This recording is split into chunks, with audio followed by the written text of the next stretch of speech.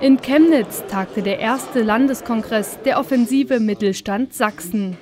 Die Veranstaltung diente als Informationsplattform für Teilnehmer aus unterschiedlichen Branchen.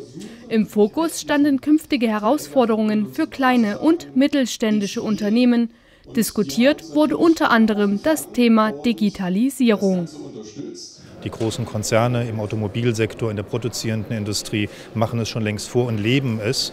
Und damit ist klar, dass auch alle Zulieferer, dass alle Dienstleister im Kontext solcher Unternehmen, aber auch solche, die selbst im Innovationssegment unterwegs sind, dass diese sich mit diesen zentralen Herausforderungen beschäftigen müssen. Das heißt, die Frage ist, wie kommt man zu mehr Innovation, wie kommt man zu Ideen, um neue Innovationen zu erproben, zu erfahren, wie kann ich mich austauschen. Ziel der Offensive ist die Stärkung kleiner und mittlerer Unternehmen im globalen Wettbewerb. Dabei spielt die erfolgreiche Entwicklung technischer Innovationen eine tragende Rolle.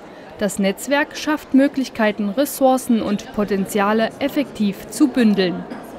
Viele Unternehmer äh, haben nicht so einen, so einen, Rückhalt, auch finanziellen Rückhalt, dass sie äh, große Entwicklungen machen können. Aber es geht halt nur vernetzt. Und diese Vernetzung, ähm, den Begriff kennen Sie vielleicht, äh, Co-Opetition von Corporation and Competition zusammengeführt. Ist ja so, dass viele sagen, ja, ich gehe da mit meinem Wettbewerber nicht zusammen. Die Frage ist nur, kann ich ohne dem überhaupt den großen Sprung wagen? Neben direktem Erfahrungsaustausch gehören auch wissenschaftliche Fachvorträge zum Informationsangebot. In enger Zusammenarbeit mit Forschungseinrichtungen, Wirtschaft und Politik entstanden nützliche Hilfsmittel für die Praxis. Die Inka-Checks sind spezielle Anwendungstechniken und dienen zur Verbesserung der Arbeitsqualität. Diese neue Qualität der Arbeit, über die wir sprechen, die wir diskutieren, es geht einfach darum, dass man bestimmte Dinge ganz bewusst und geplant angeht. Wir haben uns dort Personal, Gesundheit und Innovationen vorgenommen und wirklich kleine, aber feine Lösungen zu schaffen. Also, dass man sich der personalpolitischen äh, Herausforderungen stellt, wenn es darum geht, eben ja, vielleicht Auszubildende zu finden, vielleicht auch Langzeitarbeitslose in den Betrieb zu integrieren, dann braucht es halt mehr als den guten Willen, sondern es braucht jemand, der festgelegt ist, der dann auch vom Chef die Legitimation hat, dass er genau das machen darf. Diese professionelle Hilfe kann als Orientierung und Coaching für diverse Aufgabenfelder eines Betriebes genutzt werden. Für Firmen eine wertvolle Inspiration zur systematischen Verbesserung des Mitarbeitermanagements.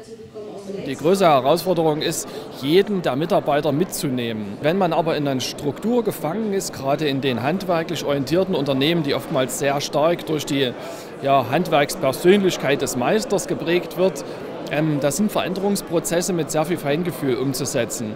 Und dann die Ziele, die man damit erreichen kann, wenn man Schritt für Schritt geht, die sind natürlich sehr gut. Aber das ist ein sehr langwieriger Prozess.